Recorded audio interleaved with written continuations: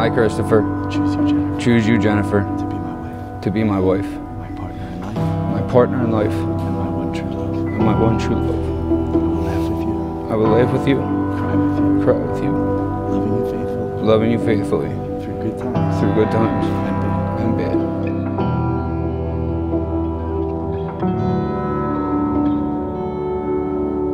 Love isn't perfect. It doesn't always come easy. It's overcoming obstacles, facing challenges, fighting to be together every day. It's not sweating the small stuff, but it's so rewarding in the end. I hope you can both look back at today and remember this day as the moment you loved each other the least. I love you both so much, and welcome to the family, Chris. May you have many joys and be the light of each other's day. May all that you are always be in love, and may all that is love always be in you. May you always see and encourage the best in each other. May the challenges that life brings your way make your marriage grow stronger. May you always be each other's best friend and greatest love. Family and friends, by the power vested in me by the state of New Jersey, it gives me great honor to introduce to all of you the new Mr. and Mrs. Christopher Bosch. Chris, you may get your bride!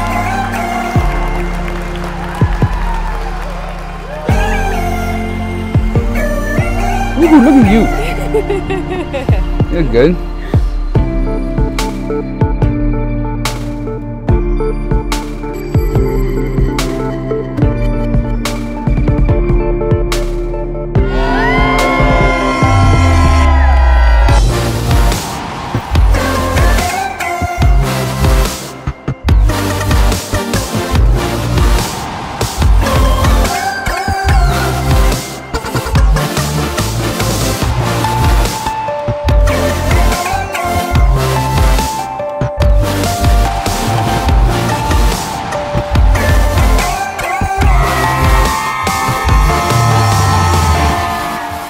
I want to wrap this up with a few movie quotes.